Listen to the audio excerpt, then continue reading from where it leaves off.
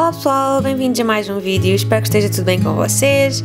Então, o vídeo de hoje vai ser a minha rotina de relaxamento e vamos começar com apanhar o cabelo para podermos então estar mais descansadas, não termos cabelo no rosto, podermos fazer as nossas máscaras, fazermos o nosso relaxamento como deve ser, sem estar preocupadas com o cabelo. Eu gosto de começar por aí e ponho o cabelo assim num bun qualquer, não interessa muito uh, como ele fica.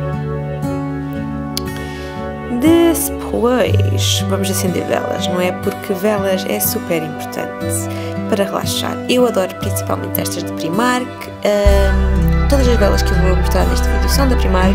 Eu estou a gostar muito delas, não só a nível de design, como a nível dos cheiros. Acho que têm cheiros muito bons e que cheiram mesmo, não são por serem baratas que não deitam cheiro. E são super baratas também. Sim, acabei de dizer isso, não foi? então aqui têm, um, acendi três velinhas espalhadas pelo quarto.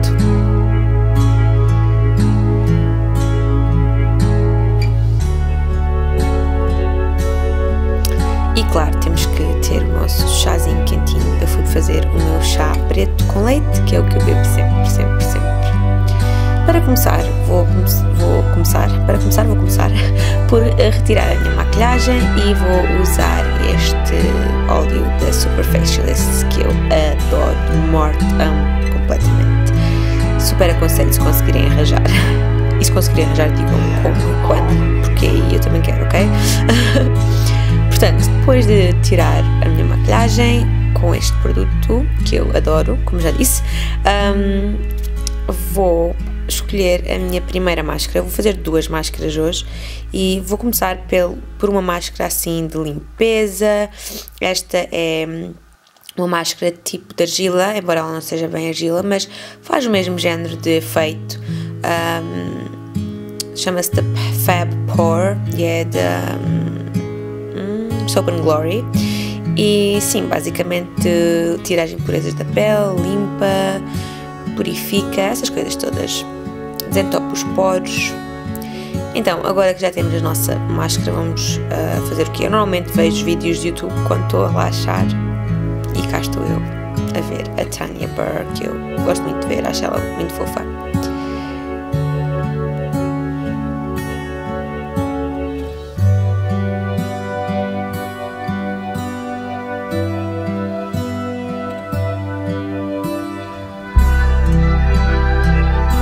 E depois também gosto de fazer alguns exercícios de respiração. Eu não sou muito boa a relaxar e não fazer nada, portanto isto dura bem 5 segundos, mas tento fazer. Agora vamos mudar de máscara, passado para aí uns 15, 20 minutos, acho que já passou 15, 20 minutos. Vamos mudar de máscara, portanto vou tirar esta com água morna. Uh, e ela tem umas partículas esfoliantes, então eu quando a tiro esfrego-a pela cara para que os foliantes façam o seu trabalho, não é? Daí ficar com uma cara assim um bocado estranha, cheia de produto. Agora vamos aplicar a nossa segunda máscara. Esta, esta ao contrário da outra, é para hidratar e hum, cheira a rosas, é muito boa. É também da Superfacialists e é a Rose Hydrate. É assim, basicamente é como se fosse um creme super espesso. Um, muito hidratante, muito boa de usar, não seca não, fica sempre muito confortável na pele, cheira muito bem e deixa a pele super macia. Então, enquanto espero que essa máscara uh, faça o seu trabalho, vou pintar as minhas unhacas dos pés. e vou usar este verniz novo da, uh, da, quê? da Yves Rocher, nesta cor bonitinha, que eu agora não me lembro o nome, mas eu deixo lá embaixo na descrição. Um, este é um dos uh, vernizes de efeito gel. É super gira a cor, gostei muito.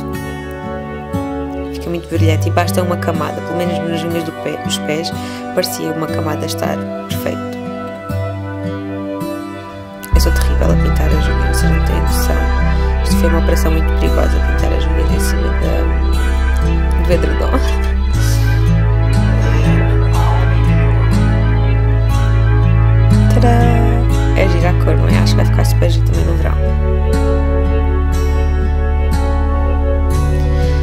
saltar para o banho e vou usar uma esfoliante da Rocher e a máscara de cabelo Gliss, um, que eu até estou a gostar. Depois do banho, já estou muito relaxada, com vontade de dançar. Pus um bocadinho de música, assim um bocadinho mais mexida e comecei a colocar creme hidratante por todo o corpo. Este é o meu novo creme corpo da Yves Rocher, tem um cheiro muito agradável e uh, é muito hidratante, apesar de não ser pegajoso na pele, porque é para peles normais, tal como eu gosto. Absorve rapidamente e cheira bem.